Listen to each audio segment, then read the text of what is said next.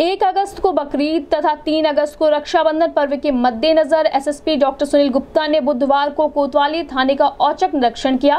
निरीक्षण के दौरान SP city doctor Kaustubh, ADM city Rakesh Kumar Shrivastava, CO Kotwali VP Singh, कोतवाल जयदीप वर्मा सहित थाने के अन्य पुलिसकर्मी मौजूद रहे। जिसके संबंध में एसएसपी डॉक्टर सुनील गुप्ता ने बताया कि आने वाले दिनों में बकरीद और रक्षाबंधन का त्योहार है, जिसको सकुशल संपन्न कराने के लिए निर्देश दिया गया है कि थाना अध्यक्ष अपने अपने क्षेत्रों में चौकसी बरतें, जिससे कि त्योहार को सकुशल संपन्न कराया जा सके और लॉकडाउन का कड़ाई से पालन करवाया जा सके।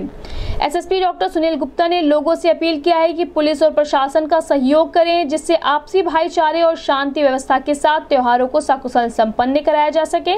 इस संबंध में गोरखपुर न्यूज़ से बात करते हुए एसएसपी डॉक्टर सुनील गुप्ता ने कहा। महिलाएँ लगी हुई हैं।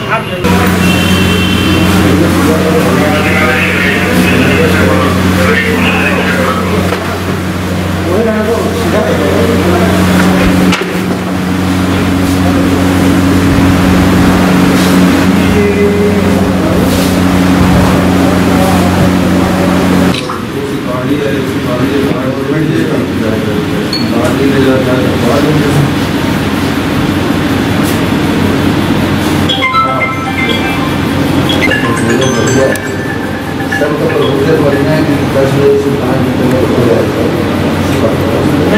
नहीं गलत दस से पाँच नहीं तो एक डेढ़ तक तो तो खाने की शाम को चार बजे तक। पाँच बजे तक। बाहर ही। गया टाइम टाइम का कोर्स की विजिबिलिटी बढ़ जाती है।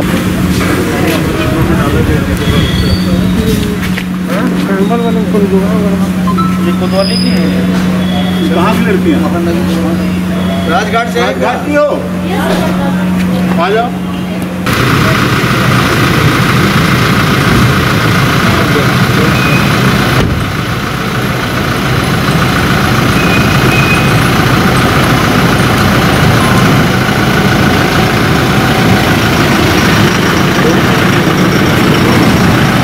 ठीक है जाओ तुम लोग। करो उसका फ़ोटो लो। नहीं नहीं राजघाट में महिला रखी किसने तो क्या चारों गाड़ी सर आज आपके द्वारा कोतवाली थाने का निरीक्षण किया क्या गए जी जैसा कि आपको पता ही है कि आने वाले त्यौहार हैं बकरीद रक्षाबंधन जन्माष्टमी वगैरह। और इन सबको ध्यान में रखते हुए लॉकडाउन भी चल रहा है और कोतवाली क्षेत्र में काफ़ी सारा कोरोना का प्रकोप भी बढ़ा हुआ है। इसको ध्यान में रखते हुए यहाँ पर बैठक की गई। एसपी सिटी साहब थे एडीएम सिटी साहब सभी के साथ। और इस सर्किल में पूरा अच्छे से शांति व्यवस्था बनाए रखने के लिए जो भी संभावित उपाय हैं, जो निरोधात्मक कार्रवाइयाँ हैं, जो तैयारियाँ हैं लॉ एंड ऑर्डर की तैयारियाँ हैं, कानून व्यवस्था दुरुस्त रखने के लिए जो भी संभव प्रयास है, वो सारे किए जाएँ, जिससे कि हमारे सभी त्यौहार सकुशल गुजरें। मैं आपके चैनल के माध्यम से भी लोगों से गुजारिश करूँगा कि कोरोना का प्रकोप देखते हुए शासन का सहयोग करें। सरकार की नीतियों के हिसाब से ही हम अपने त्यौहार मनाएँ। जिससे कि हमें कोरोना से बच भी सकें और हम अपने त्यौहार भी मना सकें।